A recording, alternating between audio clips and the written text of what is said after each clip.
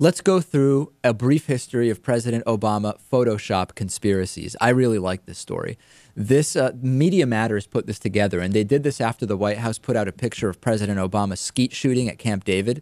And conservative bloggers, obviously, anybody could have predicted that this would happen, were starting to claim that the picture had been altered or it was created with Adobe Photoshop or some kind of graphics editing program. And this follows what now is a long and really bizarre tradition of conservative media saying that any uh, really at this point it's a broad range of pictures of president obama have been fraudulent. So first we'll put up the skeet shooting picture okay? And this picture was um, uh, immediately the uh, uh I don't even want to name them but a number of different conservative blogs and media outlets started saying ah this this really just doesn't look right.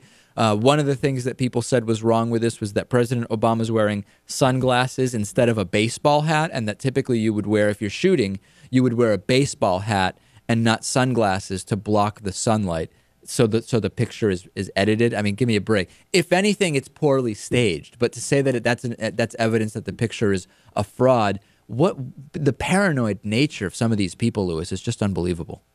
Yeah, um, I mean, you would think that these are the people that want to use this picture uh, to their advantage, right? I mean, here's Obama holding and shooting a gun right? I mean, shouldn't they just be posting this real, authentic image all over the place and saying, look, guns are fine?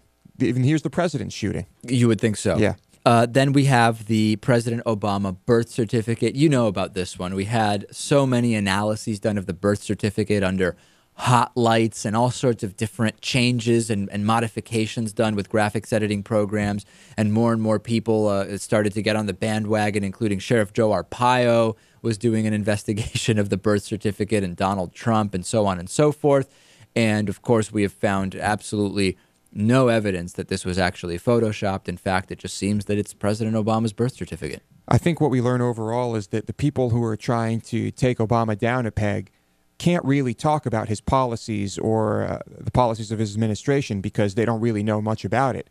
Uh, they're mis- they're misinformed. They don't educate themselves on these matters. So right. all they can really do is say, "Oh, here's a fake picture. Here's oh, a picture we think was edited. Here's a conspiracy theory. exactly. B- fake birth certificate. Then we have these two pictures. Let's show the before and after. This is a picture of President Obama with family. This these are the family member pictures, and this is one that is uh, President Obama with his grandparents sitting on a park bench in New York City, and there's the before and after people claiming that clearly it was uh, it, it was a modified picture. The real picture doesn't even have President Obama in there and he was simply photoshopped in. Of course, it doesn't explain the disembodied right leg that is still in the after, but okay, maybe that's uh, something that I just am not uh, nuanced enough to understand. I don't really know.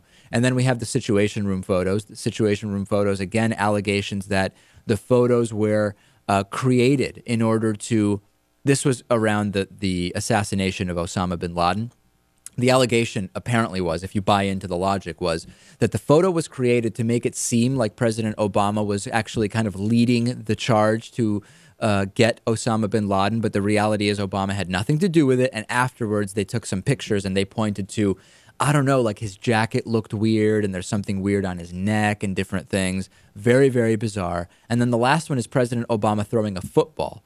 Now, this is just incredible to me because why would you need some of these? You, if it's staged, it's staged. But why would you need to to make the picture with Photoshop? It doesn't make any sense. The analysis here was that President Obama is inexplicably looking upwards in the picture when he's throwing the football, and that I guess that just doesn't make any sense, and that there were pixels around his head and arms, little pixels, Lewis, that proved the picture was apparently a fraud. Hmm. Fascinating. So there's a brief history of Obama Photoshop conspiracies. By the way, with the skeet shooting thing, why does it even matter if President Obama skeet shoots? I mean, I guess the idea would be the motive to fake the picture would be that Obama doesn't skeet shoot, but he wants to appear to have credibility on firearms because he is passing gun related legislation. And to all those people who are actually thinking that President Obama can't comment on gun legislation because if he doesn't shoot guns, I would say Bush and Cheney didn't go to war, yet those same Republicans had absolutely no problem with those two guys making all sorts of decisions about warfare, leading to the deaths of thousands of American troops, that's okay, even though they didn't go to war. But if Obama hasn't gone skeet shooting, he can't talk about gun safety. It's it's unbelievable. Right. Uh, I don't know. What more can I add to that?